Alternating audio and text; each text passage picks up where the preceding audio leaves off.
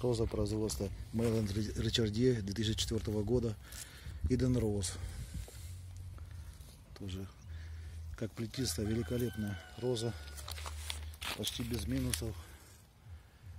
Только одни плюсы, одна радость от нее. Это ее содержание. Вот, это Иден Роуз.